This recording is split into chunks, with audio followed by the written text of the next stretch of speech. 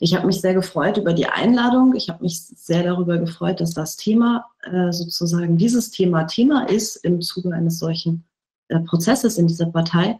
Ich habe mich auch über das Papier gefreut, als ich es das erste Mal gelesen habe, weil ich dachte, das ist richtig, das als ein übergreifendes Themengebiet zu begreifen, was sich nicht in einzelnen der Bereiche ergeht. Und dann habe ich angefangen, darüber nachzudenken, welche Form von Impuls denn hier in drei Minuten 40 möglich ist in einem so so großen Themengebiet, bei dem so viel zu tun ist. Und dann habe ich mich bei diesem einen kleinen Gedanken erwischt.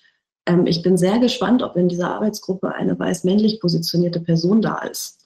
Und als ich jetzt dann die Teilnehmerin gesehen habe, habe ich gedacht, okay, ja, ähm, und ich glaube, es wäre ein Teil der Vision zu dem Thema, dafür zu sorgen, dass das Thema ähm, auch nochmal in einer anderen äh, Härte diskutiert wird und auch nochmal in andere Runden hineingetragen wird um Thema. Das kann sein, dass ich schon zu kulturpolitisch implementativ denke, aber Esra hat zum Schluss auch einmal das Wort Druck gerade ausgesprochen.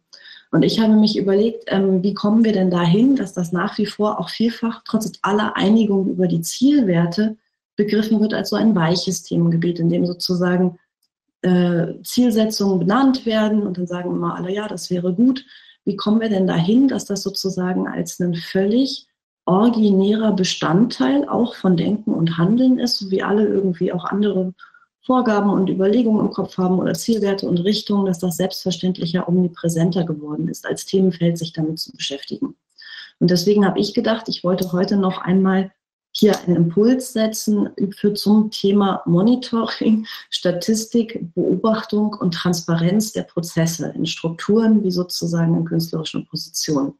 Und da rede ich nicht darüber, über sozusagen Verordnungen oder, oder Vorgaben oder gar ein Sanktionssystem, aber ich rede wirklich über einen konkreten Zielwert, das in einer Vision einer Kulturstadt 2050 ähm, man sehr viel über das weiß, was passiert, warum es passiert und wer gerade was macht.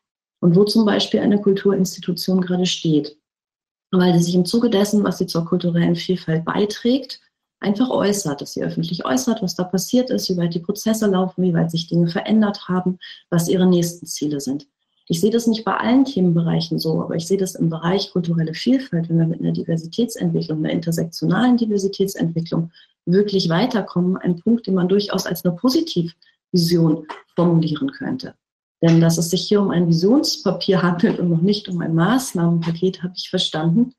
Ähm, und ich dachte aber, man müsste es schaffen, diesen sozusagen Einblick in die eigenen Bemühungen, die institutionellen Bemühungen, den Einblick in das eigene Scheitern an den Bemühungen, den Einblick darin, welche weiteren Schritte notwendig sind, um Strukturen zu verändern, in eine positive Vision umformen in etwas, was alle Strukturen so unterschiedlich sie sind, eigentlich gerne machen.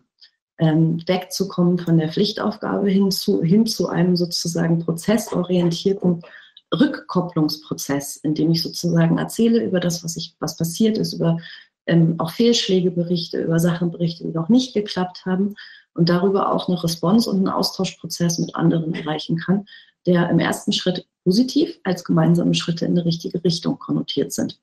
Das ist jetzt eine ganz wilde Vision für ein kulturpolitisches Handeln, bei dem wir leider noch lange nicht sind. Aber ich finde, es wäre gerade in dem Themenbereich richtig, das nochmal systematischer anzugehen. Und der zweite Aspekt, der mir aufgefallen ist, den kann ich viel kürzer machen, weil der so einfach ist. Ich habe das Wort Kunst nicht drin gefunden.